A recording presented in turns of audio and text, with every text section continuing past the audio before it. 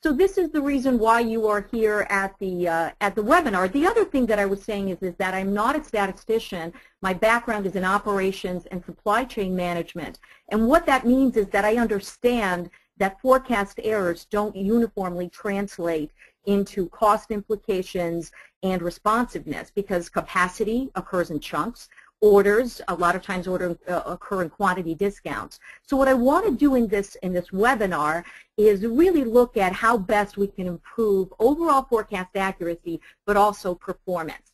And so what I wanted to do uh, was talk about some key things in the time that we have. Uh, the first is principles of forecasting. We know that following some very simple basic rules really helps in terms of accuracy. Two, I want to talk about combining disparate data uh, from different sources that bring different kinds of information. And last, I want to talk about segmenting and dissecting data, which um, really allows us to really take advantage of the 80-20 principle. We understand that most of the results come from fewer items.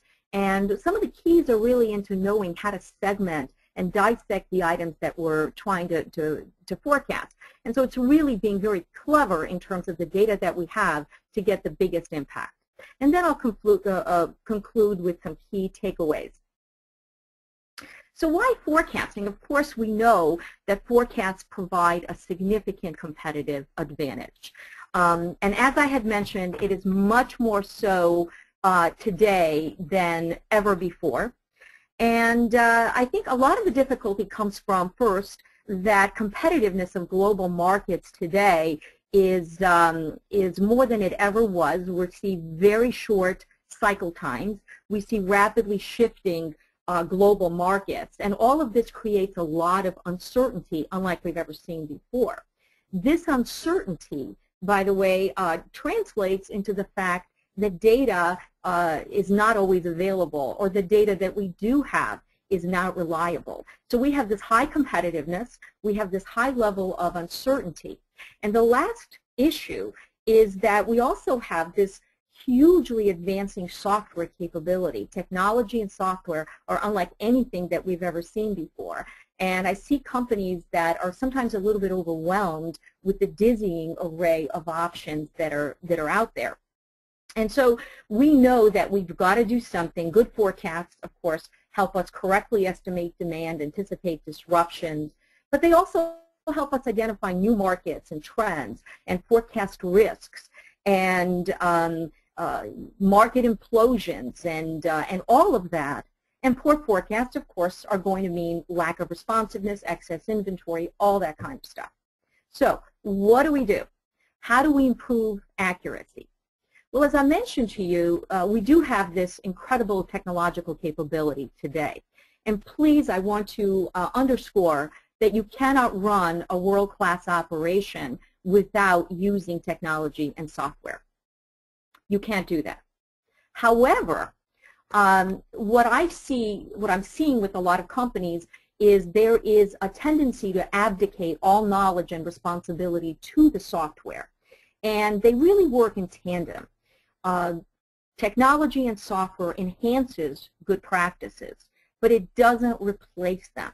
So we need a basic understanding of forecasting principles that helps us use the technology uh, in the best way possible. Please remember that. Again, I see so many companies that invest uh, hundreds of thousands of dollars in software and they just simply surrender completely to the software to get the best out of the technology and software, you have to have good processes in place. You need to understand some basic principles and to know how to uh, how to how to do forecasting.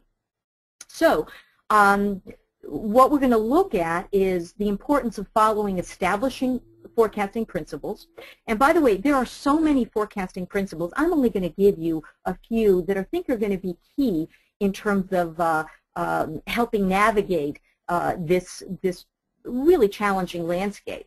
And we'll talk about how to combine data from disparate sources. In particular, I'm going to give you two categories uh, that are important to look at. And then we'll look at some ways in terms of segmenting and dissecting data. And before we begin, let me just apologize again for the technical difficulty, and I hope it doesn't take away from the learning experience that uh, you know, hopefully you'll get, uh, you'll get here.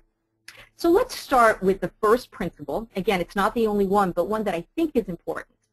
And that is that forecasts are more accurate for groups of items rather than for individual items.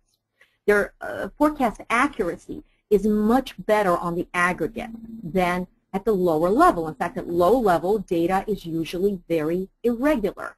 And forecast errors at the low level often are many times greater than errors from forecasting aggregated series.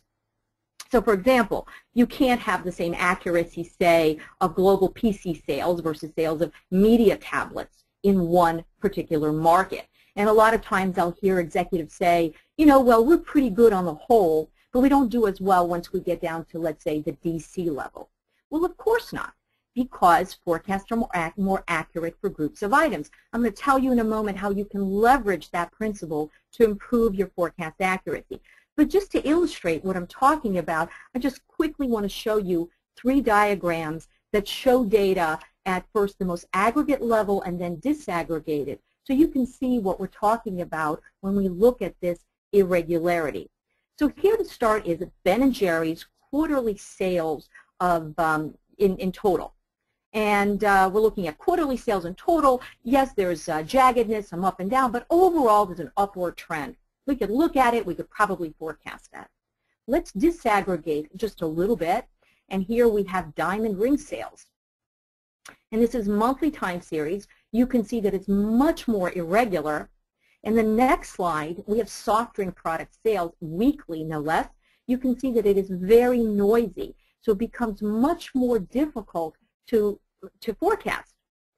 One of the ways that we can leverage this is to use a top-down forecasting approach. It's a simple principle.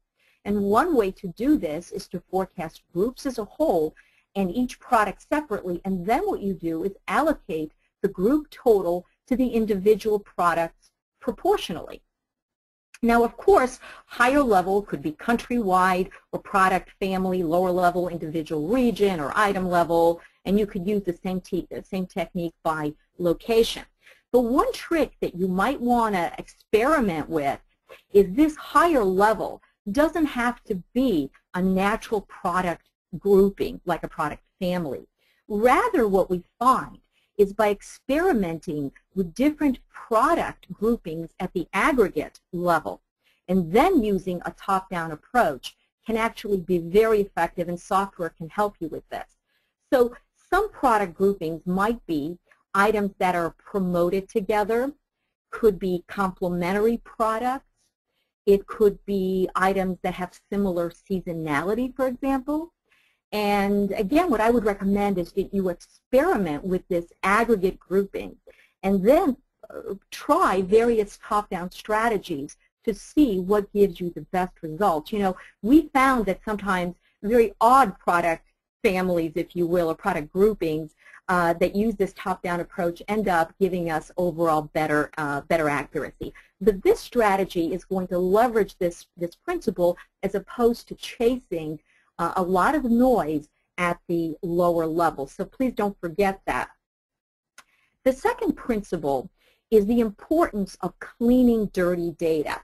Now what we see today is we have so much data, but most companies that I find are data rich and information poor. A lot of them don't even have the infrastructure to absorb the information that they have in order to actually make effective decisions. There is this rush to take all the data that we have, you know, plug it into a software package and just get, uh, you know, get some results out there. But the fact is, uh, is that most of the data is dirty. I would encourage you to always, always question the quality of the data that forecasts are based on. Some of the most common things are missing data values. I mean, obviously you can't submit or, or substitute a zero in there. Uh, some judgment and interpretation comes into play. There are trading day adjustments, and I only have a few, by the way, here. You know, trading day adjustments occur when you have monthly data across multiple years. uh, the number of trading days in a particular month across many years can substantially and significantly uh, impact um, the, the, the value of the data uh, for that month. And it's really surprising if you don't do a trading day adjustment. Uh, if you just do comparison across years for the same month, you will really have garbage in, garbage out. So make sure that something like trading day adjustments is done. Then, of course, there are outliers and special event adjustments. Um, we all have promotions, special events, occurrences such as a snowstorm delaying a shipment, and so forth. We have to make sure that uh, the data set that we're working off of is clean. And, and, usually the way this is done is you have your original data set, and then you create a second data set that's been clean that you work off of.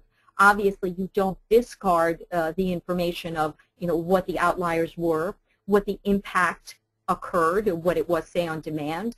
Uh, but you don't just follow this uh, this data set. You have to clean it. Things like constant versus current price data. It might seem very simple, uh, but it's very very surprising how often some of this isn't done. And especially today that we have so much data, there is this tendency to forget to make sure the data is clean. You know, we get so zealous and excited and say, oh, we have data, and uh, we have to ask ourselves, is it clean? And two, is it relevant? Is it reliable? Which leads me to the uh, third principle, and that is that sometimes there is no data. Uh, this is very important to keep in mind today when we have uh, a lot of new products. Uh, also, for example, we have a lot of events that will occur. I mean, just think of the, uh, the tsunami in Japan and look at the electronics industry, just one case in point. And uh, in that example, if we just looked at um, activities in the electronics industry in Japan prior to tsunami, we certainly couldn't extrapolate that following the tsunami. So the question here is, sometimes there is no data, and it's very important to look at the data that you have and say, uh, is the historical data reliable? Is it clean? But is it also reliable and representative of what the future uh, is going to hold and recognizing that maybe there is no data. So what we do in that case is we use other strategies. We look to historical analogies. We might identify like products and study their pattern. We could use a structured analogy process that allows us in a very structured format to use demands for like products uh, and, and create a whole new set of forecasts. And there's some wonderful software capabilities, Forecast Pro included, that enable you to do this. The key thing here is to, um, uh, to understand and ask yourself, you know, is there reliable data? Uh, should we go ahead and look to like products rather than trying to force fit the historical data that might not represent what is going to hold into the future? The other principle of forecasting is to match method to the data. And you might say, well, that's pretty obvious. But there's a few things I want to say here that are important. Remember that all data has pattern in it plus randomness.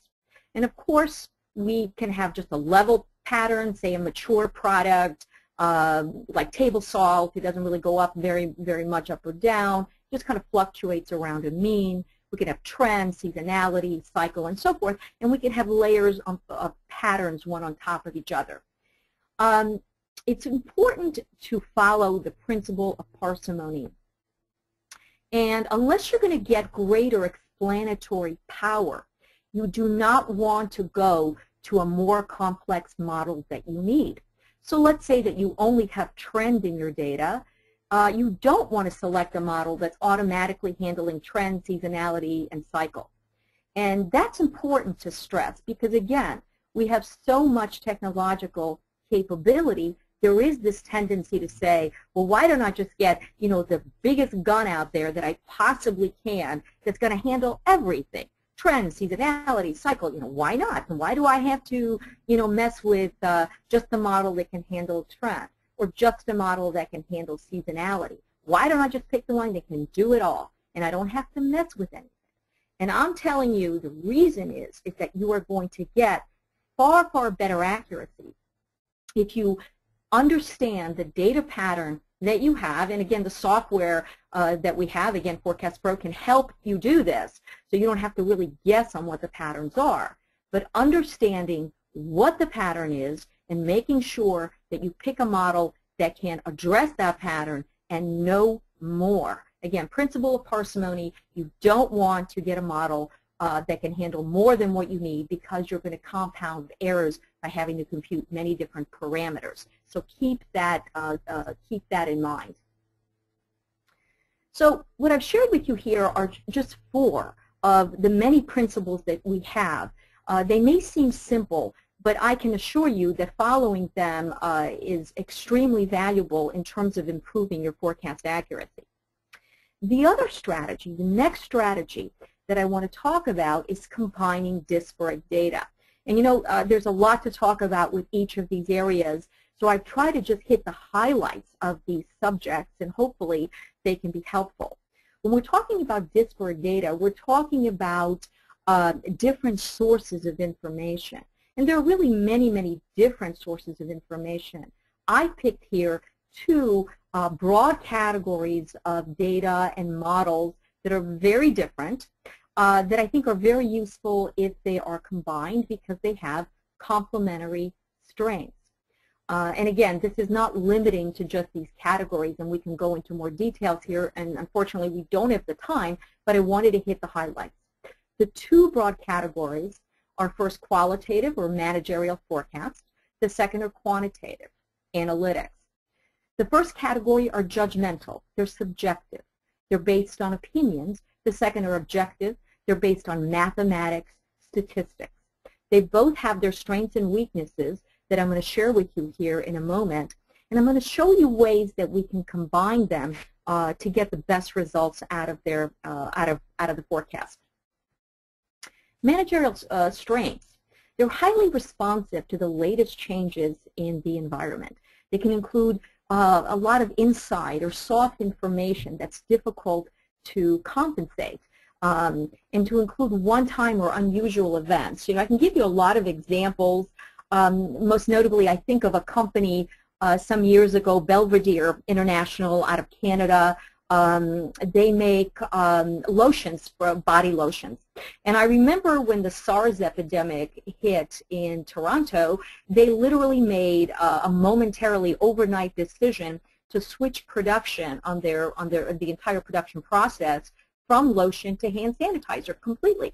Um, it was simply understanding that the SARS epidemic was hitting. Uh, this is that inside information. This is the latest information uh, it would take a long time to model that, right? So they had to make a decision. This is where the managerial judgment comes into play.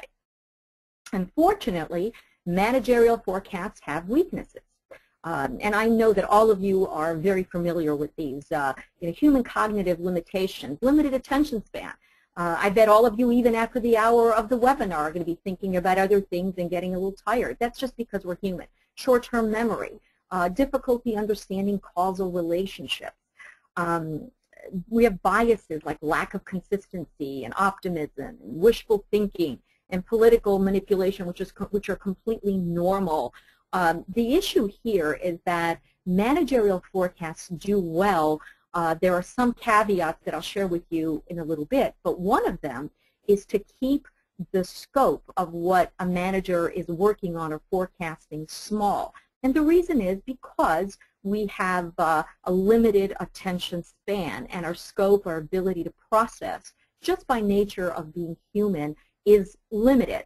Uh, managers do very, very well provided, again, that the scope of what they're working on is relatively small. And by the way, this is where the 80-20 principle is going to come in because um, if you have managers working on the things that are most important and automated automate the things that are less important, you can be much more effective than actually spreading yourself too thin. But we'll, we'll come back to that in, in a little bit. Quantitative forecasts, as far as strengths, well, they're objective. They're consistent. They can process large amounts of data, consider many variables and complex relationships. And you know this to be uh, truer today than, than ever before. This is where the big data analytics comes in, where we can understand through manipulation of data causalities that we never thought existed and use that to forecast and to really understand, uh, again, uh, relationships we didn't even know were there. But of course, quantitative forecasts do have weaknesses. They're slow to react to changing environments. They're only as good as the model and the data they're based upon. And do remember that. They are only as good as the model and data they're based upon. Remember what I had talked about with regard to cleaning dirty data. So uh, always question that. And of course, they can be costly and time-consuming to model, the soft information, and you need to have technical understanding. So um, as far as managerial and quantitative forecasts, each method has its strengths and weaknesses, and the best forecasting method is one that integrates both approaches. This is where combining comes in. And there are different ways that we can combine uh, these two uh, you know, disparate sources of, of information. I'm going to show you three fairly quickly. The first one is mechanical combining. And mechanical combining basically takes uh, the managerial and quantitative uh, uh, forecast and combines them uh, in some kind of a statistical way. I've seen this work in some, some companies where managers make their forecasts independently. They don't look at the quantitative forecast. So they don't really anchor on a number. They use their own knowledge and experience to generate the forecast. Quantitative forecasts are generated separately, and then you can statistically combine this to get a final, uh, a final forecast. Now, this provides improved accuracy, it is objective. But the issue, the problem here is it may not provide the user with a sense of ownership. And I can tell you from my personal experience, a sense of ownership is really important. You know, uh, the ability to buy into a forecast, to believe in it, to have the team buy into it is extremely, uh, extremely important. And we all know of the many consequences uh, when we don't have faith in what the numbers, uh, numbers actually are. So I think, I personally think that's a bit of a shortcoming here, although statistically it does provide improved, uh, improved accuracy. Another method is to use the management, uh, managerial input into model building. So for example, you would use managerial knowledge and opinion to identify patterns, to select variables, to define parameters. Uh, the manager might have greater insight, for example, as to what the trend is going to be doing uh, that might not necessarily be reflected in the history, and that might be used to create a better quantitative model, and then of course generate the final forecast. This method is least subject to bias, it's objective, but it is time consuming and slow to react to change. I mean, think about the, the, the, the Belvedere example, and there are numerous such examples where so much has to be done on the fly. And unfortunately, the way the business environment is today, that's the reality of it. So it's a question of, well, how do we work with the reality of the context of this very complex and rapidly changing landscape and incorporate the knowledge that managers have. And, and that's really the third approach. And it's managerial adjustment, managerial overrides. And, and I know all of you are familiar with them because they're so much used in practice. And this is really where we get the quantitative forecast, and we have the managerial opinion that comes in and makes the adjustment, um, generate the final the final forecast. And there are different ways to do this. We're going to talk about that in a little bit.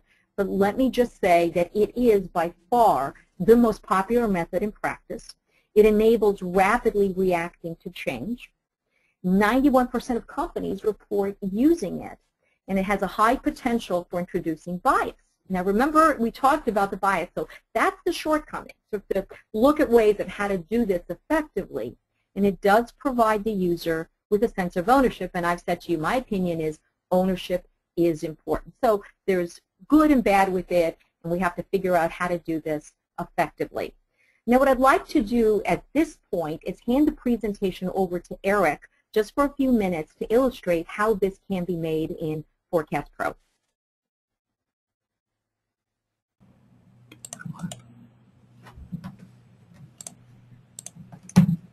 Okay, thank you, Nada.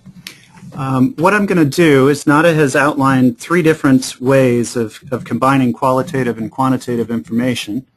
And uh, I thought I'd just sort of illustrate it a little bit uh, using Forecast Pro. So the first example on the screen is we have a statistically based forecast. That's that top row. It's also the green line on the graph, actually the red line on the graph, excuse me. And um, we have also, in this case, demand planning. And actually, let me um, pop up a different one here. Sorry about that. Um, so again, what we have is a statistically based forecast. This was generated from a quantitative model like um, exponential smoothing or perhaps a regression-based model. And we also have a management forecast along in this row labeled corporate. So again, illustrating what Nada was speaking about, that we have sort of a separation between a statistically based forecast and one that's based on more qualitative information and, and it's coming separate from the process. Along the bottom here, I've defined a different row. And this is a combination. And in, in this simple example, it simply averages the two. But perhaps if there was a track record involved between the different forecasts being combined, we'd, we'd get a little fancier in our weighting scheme. But again, the main, the main point here is this idea of taking quantitative-based, statistically generated forecasts, which as Nada has told us has certain advantages, and combining it with the softer information, uh, in this case a management-based forecast, to come up with the final numbers uh, along the bottom here.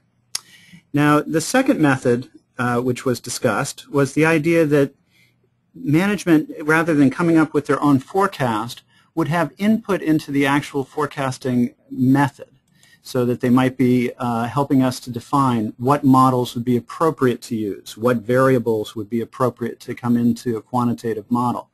So I'm not going to illustrate this per se, but I'm just going to point out again that most software packages, and certainly Forecast Pro is included amongst them, uh, will have a variety of different quantitative approaches to forecasting and would allow you to specify a model um, and to build a model. And again, if we're the managerial input to the model building process uh, is really direction and helping to identify patterns, select variables, etc., this is how we'd enter that information. And then the third uh, which, uh, as um, Nada has pointed out, is actually the most popular, is judgmental adjustments.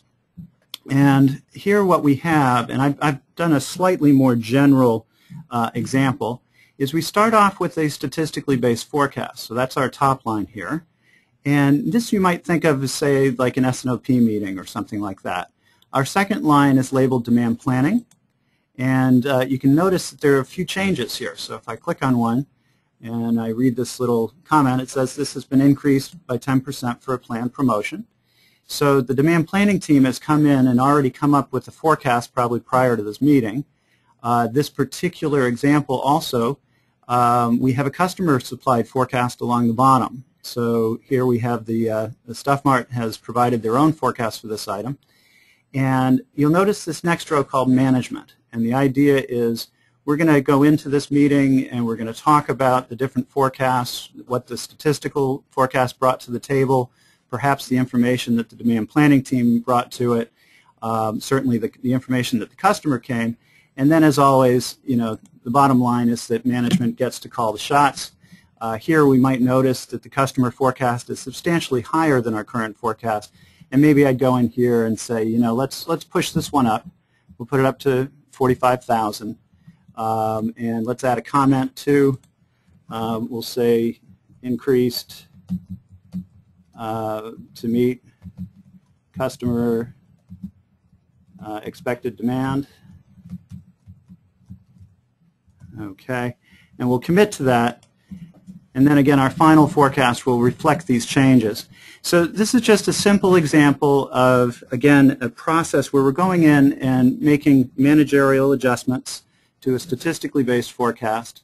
Uh, in this case, again, a little more general than just, just management because oftentimes different teams will bring different things to the table. So the demand planning team may know about supply constraints or other issues in the supply chain. Management may know some strategic stuff. The customers, of course, it's always good to listen to. But again, we're bringing different pieces of uh, both quantitative and qualitative information to bear in establishing the final forecast. Uh, adjust in the presence of domain knowledge, and again, domain knowledge is experience that managers just gain just being on the job. Uh, we really don't know, you know, when does one gain this experience? Is it five years, 10 years, 20? Uh, but we do know that managers who have worked in a particular industry, who have experience, have insights that just someone who's brand new just simply doesn't know. And, and we found that managerial adjustment with domain knowledge can actually improve accuracy. Um, managers with higher understanding of market conditions, they generate better adjustments. And we've also found, studies have found that adjustments without domain knowledge can reduce accuracy. So we want to make sure that there is some experience, that, that the managers know the industry a little bit. Again, what that is, I can tell you, as a professor, we don't really know, you know, when does that point come when one has reached domain knowledge, and I suspect that would greatly vary by industry, but we do know that some knowledge of industry is extremely important. Uh, just to give you an example, an idea of how important domain knowledge is, um, how we need judgment to interpret, just think about this. If we just use blind extrapolation of past data, let's say, uh, and these are actual numbers, uh, if 165,000 people were living in Las Vegas in 1980, and then we looked at the numbers, 260,000 in 1990, and 480,000 in 2000. Now, can we assume a trend?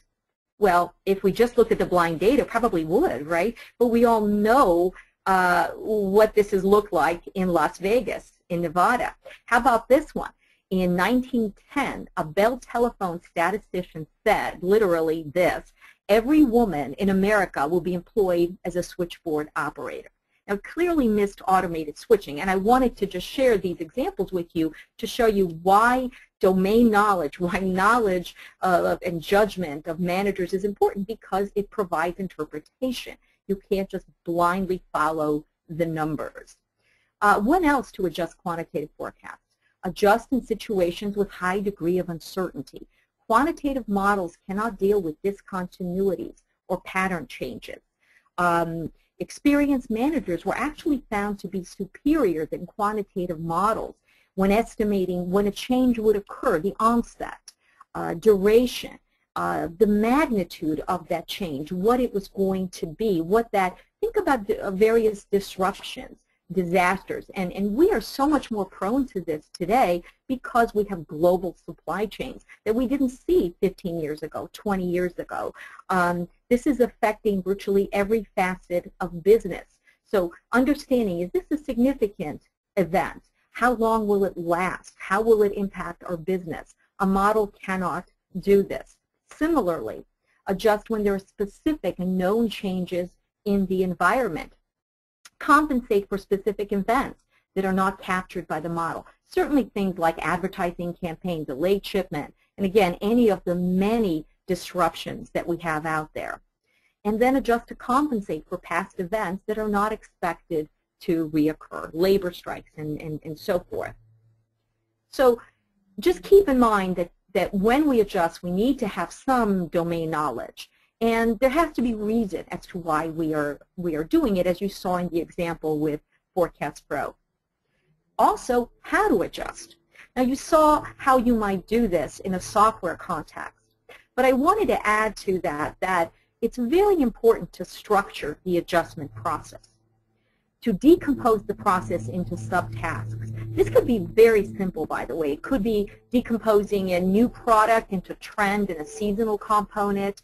Um, it could be computer-aided, as you just saw. It could even be pencil and paper. The point is that you want to decompose. And we find that when we decompose uh, this entire process, we tend to do a whole lot better. So let's say that you're thinking about a new product forecast rather than just forecasting demand in total, you might have a better idea what the trend is going to be versus, say, seasonality. You might want to break those up. And again, you can use software to aid you in this, or of course you can use pencil, uh, pencil and paper. Two, you might want to consider method of data presentation. So we find that, for example, graphical presentation is better for trend, tabular, otherwise. graphical oftentimes is better for short-term, tabular long-term. Uh, there are differences whether we have macro or micro data. And um, we're seeing this taking so much more hold now with software analytics and dashboards and presentation. But the bottom line here is what I want you to remember is pre presentation makes a huge difference. When you look at, as a manager, and you're trying to make a managerial assessment, if you will, I am telling you that how you will perform will have a great deal to do with how you visually and physically look at this data, whether it is a string of numbers or whether it is some kind of a graphical presentation. So please keep, keep this, um, this in mind. And third, document all adjustments. And really software has made it very easy for us now that can keep track of this for us. But we want to keep record of adjustments made and reasons for adjusting so we can go back to it. And what this actually does is it serves as feedback and really aids learning. So as managers, remember our, our attention span is small.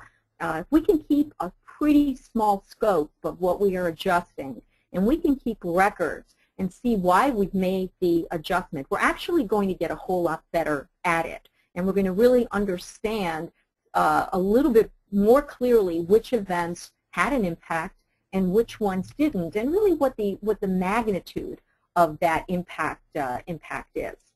And the last item here in how to adjust is to monitor forecast accuracy for all adjustments and really for everything.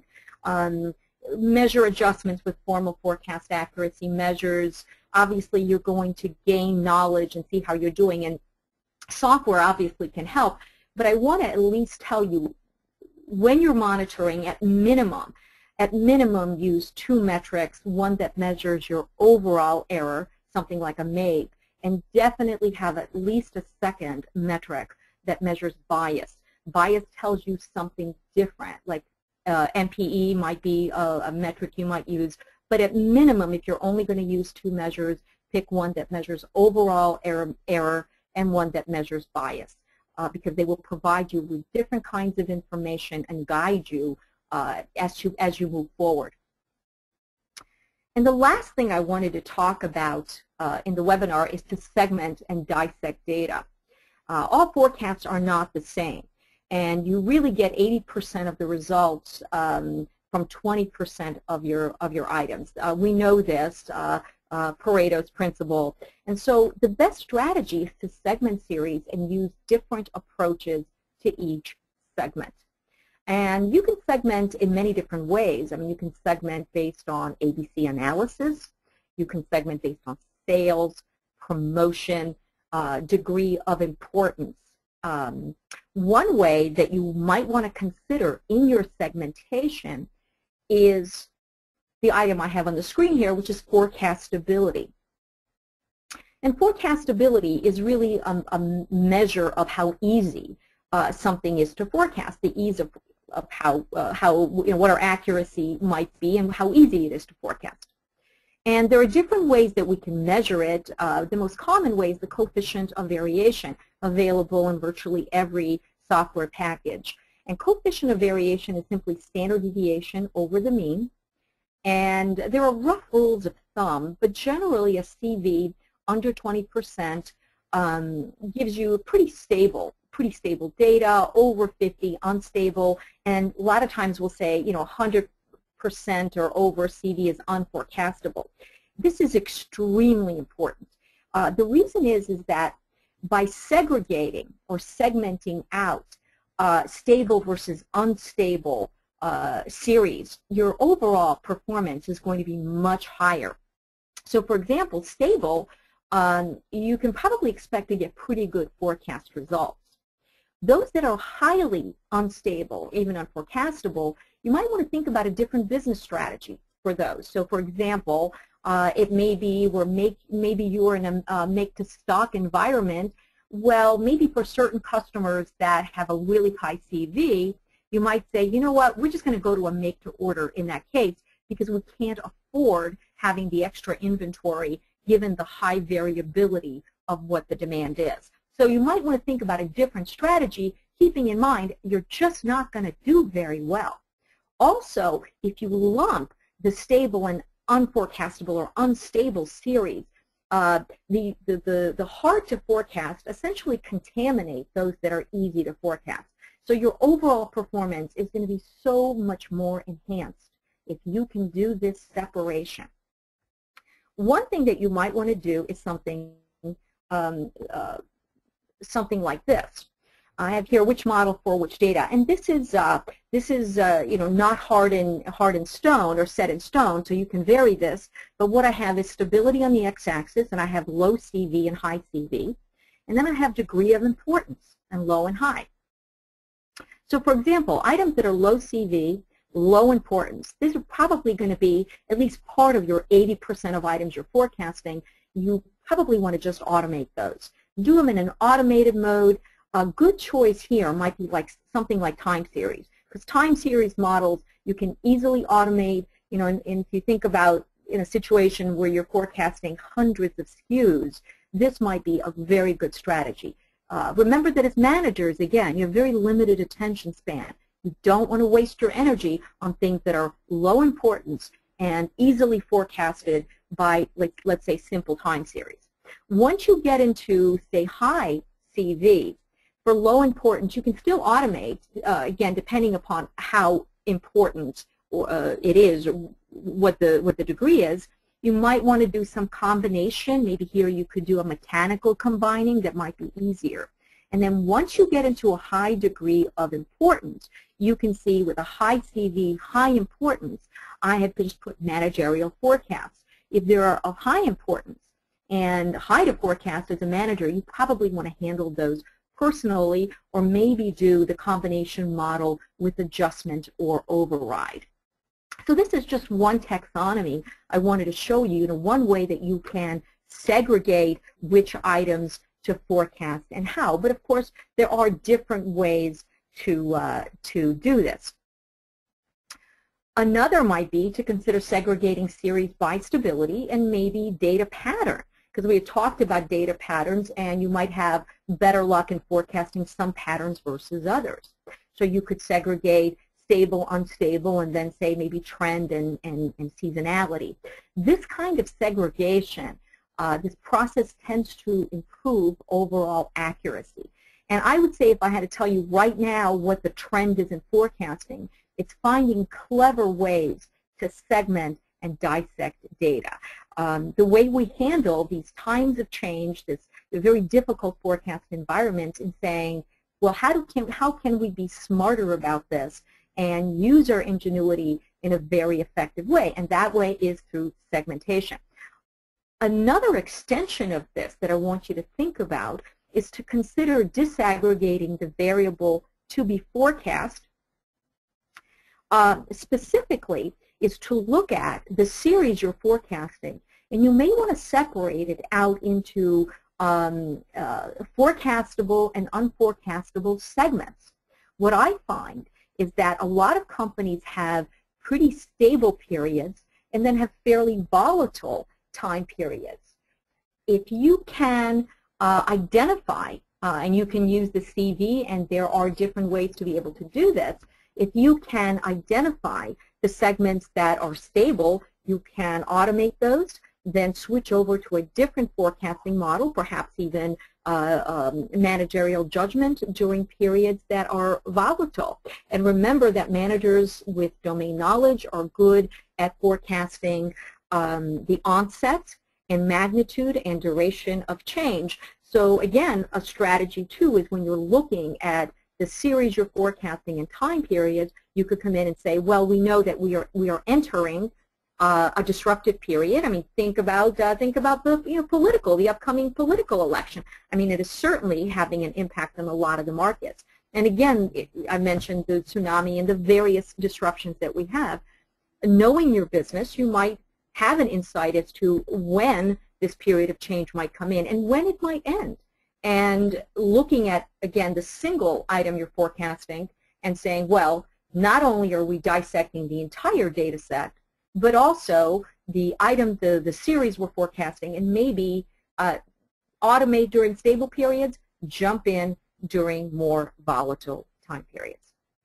So what I've tried to do in this time period, and again I apologize for the disruptions and I very much hope that I was able to hit some of the important issues in forecasting, uh, some key takeaways. Do not blindly apply technology and software. Please, I see this a great deal because we have such amazing software capability. Again, there is this tendency to just go, well, let the software do it. Let it enhance what you already know your knowledge coupled with current technological and software capability is the best strategy. Understand and follow established forecasting principles. Uh, this is, again, very important. I'm oftentimes surprised how many companies have lost sight of those um, in the face, again, of this overwhelming technological capability. The forecasting principles are well established. They work. So make sure you know them and follow them and understand and work with today's software capabilities. Your organization has to have a forecasting process in place. It needs to have rudimentary understanding, and then you overlay on top of that one of these amazing software packages in tandem. This is what gives the competitive advantage to companies today. A few other takeaways, combine data from disparate sources. We operate in very complex environments today and we need to gather information from different sources. We cannot rely just on one. There are many ways to do this, but the most disparate, if you will, are qualitative and quantitative forecasts. They're not mutually exclusive, uh, uh, exclusive, so don't use one to the exclusion of the other. And combining often gives, of course, the best forecast accuracy. Uh, and last, segment and dissect your data for best results. Time permitting, uh, experiment with a variety of, forecasting methods and a variety of segmentation strategies. Play with this on your software package and then use this information moving forward. So remember, one size does not fit all. Um, and thank you for attending the webinar. And again, uh, I hope you found it useful. Um, now what I'm going to do is hand this over to Eric who will talk just a little bit about some upcoming training workshops. Thank you, Nada, and, and thank you for presenting uh, the webinar today. Um, if you could go to the next slide, please. I do, before we uh, break for our question and answer session, I would like to just uh, say a few words about our next upcoming webinar and some resources that are available to you on, on the Forecast Pro website. Um, so I do want to mention that uh, we do have the, the webinar series. It has a live webinar once a quarter. Uh, it also has on-demand webinars that are available on the website. They're free, uh, so it's a great way to learn about topics that you that you uh, pertain to forecasting. So we'd encourage you to visit our website and and take advantage of that. We do also offer uh, product training workshops for those Forecast Pro users out there. We can deliver them both uh, either on-site or remote-based via WebEx. And if that's of interest, then I'd encourage you to, to uh, learn more about that as well. And the next slide, please. So the examples from today's webinar actually used a, a new version of Forecast Pro TRAC, which is coming out very shortly. Um, if you would like to learn more about Forecast Pro, of course, we'd be happy to tell you about it. And one of the best ways to learn more about the product is to request a live WebEx demo. Um, it's free, and we can even use your own data to make it more interesting. But we'd love to show you how the software works and how it can help improve your forecasting process. If you are interested in learning more, you can actually just send us in the chat box. If you send us a request, we'll have somebody get in touch with you to schedule a demo. Um, and as always, there's a lot of resources on the website, so we'd encourage you to explore that as well. And the next slide, please. Our next scheduled uh, live webinar is coming up on J Thursday, January 17th. Um, it's entitled, What Now? How to Proceed When Automatic Forecasting Doesn't Work. And I will actually be presenting this uh, webinar. And the, the theme here is there's an awful lot of forecasting that is using automatic time series based forecast. In other words, forecasting based solely off the past history, extrapolation of trends and seasonal patterns. Um, this webinar really is going to concentrate on cases where that does not do a good job and how do we proceed? What types of methods can we use, for instance, when we don't have adequate data to project from the past? Or when there's not the same continuity between the past and the future that's required for automatic approaches. So again, it should be uh, an interesting talk, and I think offers a lot of pragmatic approaches to improving your forecast, and I hope you can join us for that.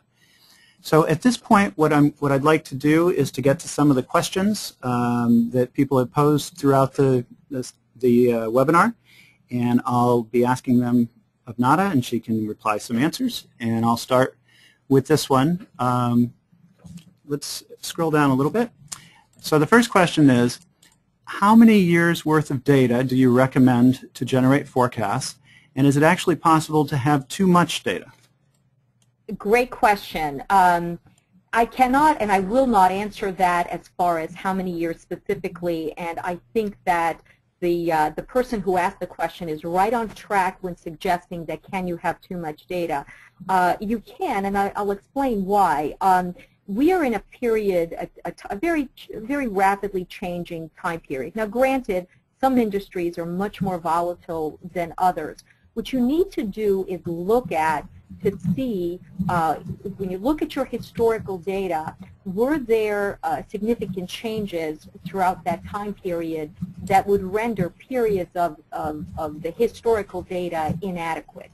Uh, generally, if you're dealing with uh, seasonal data, uh, you want to have multiple years. So ideally, we would like to have, uh, in an ideal world, at least two or three years of seasonality if we can.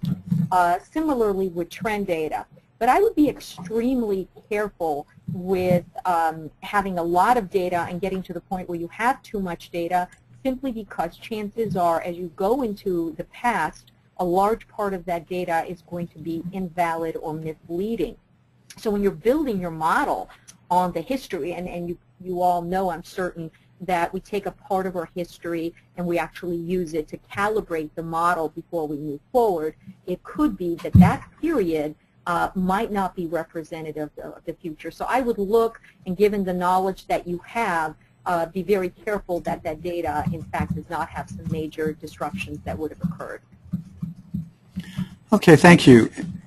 And for our next question here, um, when measuring forecastability, do we concentrate on a specific time window or do we concentrate on the entire series? Um, I would actually concentrate on both. Um, what I would do is I would look at stability first of all in, to in total.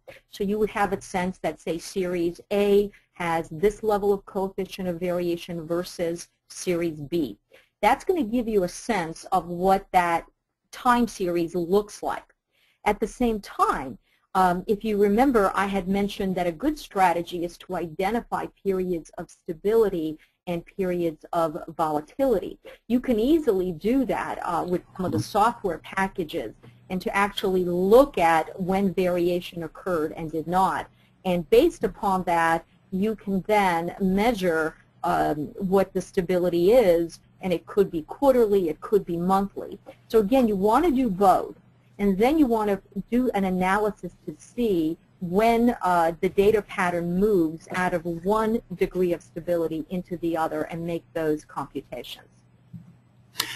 Thank you, Nada. And actually a follow-on from a, a different uh, attendee who's asking, at what granularity um, is the CV calculated? I've seen it calculated at all, all levels. Now, uh, that's actually a very good question because um, you're going to have to keep track of these values over time. You know, I'm asked all the time, we have a MAPE of X. Is this good or is this bad? And my answer, a very honest answer, is I have no idea and neither do you. And the reason is, is that these are all relative measures. So for example, let's say you're going down to uh, a SKU level. Obviously, your volatility is going to be higher. Your CV is going to be higher at a high level of granularity than at aggregation.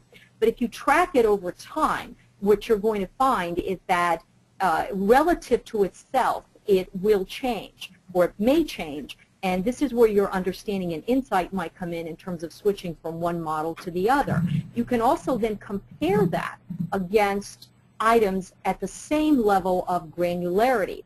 But comparing items at uh, a, a very low level versus those that are highly aggregated isn't a fair comparison.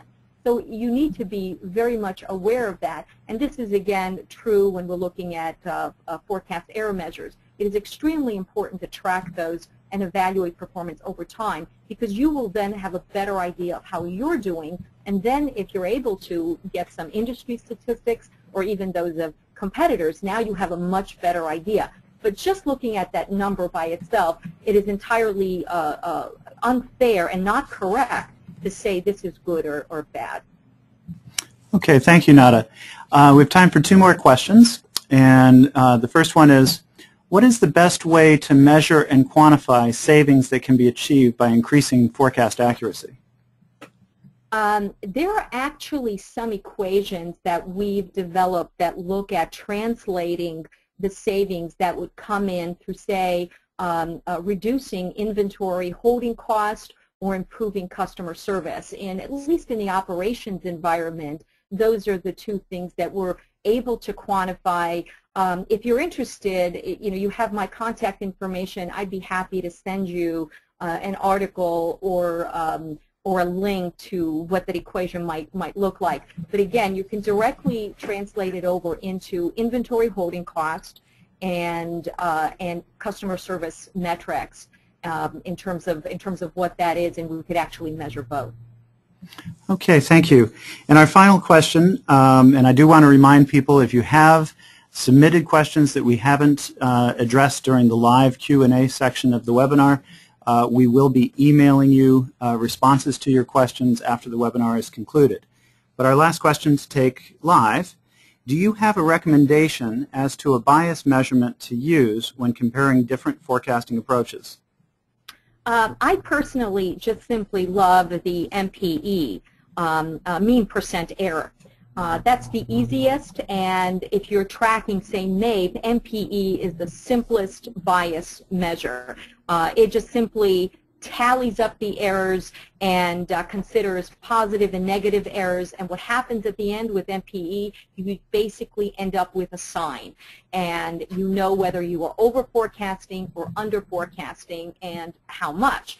And so, you know, what can happen is if you just track MAPE, for example, if you're just looking at, at, at, at MAPE in, in, in totality, it's going to, or, or something like, like MAPE, it is simply going to tally up your errors and it will give you a sense of what your overall error is.